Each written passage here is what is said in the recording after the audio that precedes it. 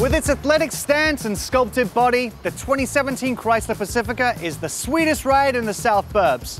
And talking of sweet, it's a beautiful day. Let's grab some ice cream. We're at Cunis Candies, in South Holland. This is the beauty of our show, I think.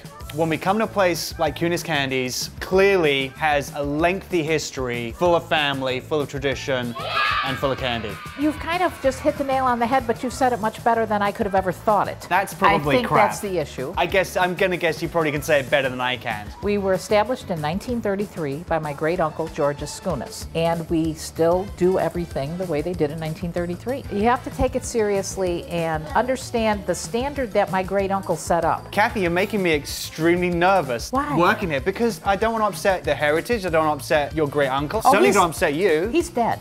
Okay. No, no, Is no that because he upset you and did something wrong with the chocolate and it backfired on him? No, he passed away in Okay. 75. Okay. It's been a while.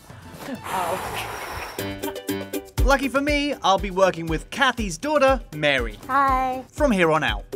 We heard from Elise on Facebook, and we also got an email from someone called Candy, which sounds super suspicious because Candy seems kind of like an inside job. wasn't me. We hear that you guys have the best homemade ice cream. Let's do it. All right. What we have here, we already sliced up some bananas. So next we have sugar. Two main food groups, right? Keep going, keep going. Keep going? A little bit more. You can't be too sweet. Next, you're gonna get all up in there. This is why I always wanted to have my own candy or ice cream store, guys. You're welcome to come in. Playing with food. Oh, yeah. I'll do a little bit. Yeah, you want to take over a little bit while I All right. try and figure out what's going on with my hands? We pour our mashed bananas into the ice cream machine and add 14% butterfat mix. 20 minutes later, and maybe a few too many samples. Candy for the win. Candy is good. Candy makes you whole, makes you a human being, makes you a big person. I've eaten too much sugar already. The ice cream is ready to scoop.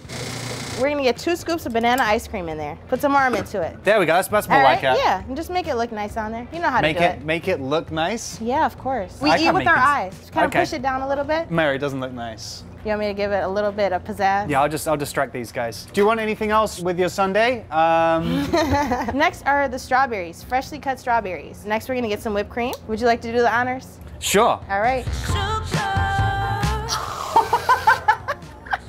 Mm I, I guess, unless, I mean, you already got some, so. Yeah, I think we'll just finish this one off tableside.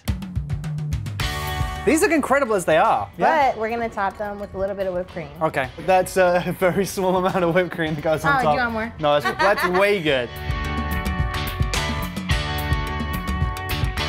This is what we came here to make. This is what blood, sweat, and tears went into. Oh, that is outrageous. I am not joking when I say that. that's the best banana ice cream I've ever tried, period. Simple ingredients, fresh, no preservatives. You answer my question. I don't even need to ask you why you're Chicago's best. That's why I'm Chicago's best. All right. So what does chocolate taste like again? Would you like a sample? Yeah, we should go and get some samples. right, let's do it.